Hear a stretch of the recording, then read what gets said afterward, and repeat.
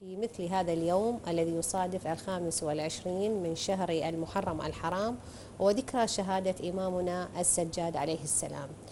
لنتناول هذا الموضوع في فقرة ذاكرة الأيام ونسلط الضوء على إمامنا السجاد عليه السلام.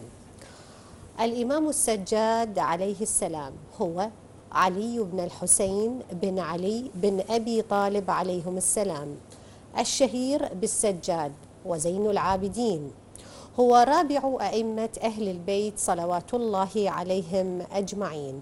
ولد في الخامس من شعبان سنة 38 هجريا واستمرت إمامته 35 عاما.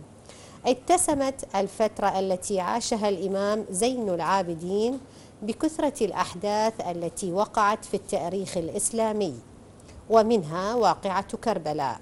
حيث كان حاضرا فيها والتي استشهد خلالها أبيها الإمام الحسين عليه السلام وأهل بيته. ولكن بسبب مرضه لم يتمكن في المشاركة في القتال.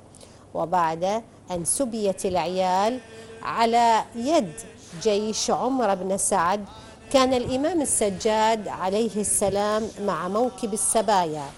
وبعد أن ألقى خطبة مؤثرة في مجلس يزيد بن معاوية بين من خلالها سمو مكانة أهل البيت وحقيقة أعدائهم إضافة إلى شرح ما جرى من رزايا في كربلاء.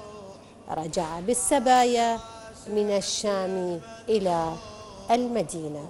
السلام عليك يا سيدي ومولاي يا زين العابدين يوم ولدت ويوم استشهدت. ويوم تبعث حيا.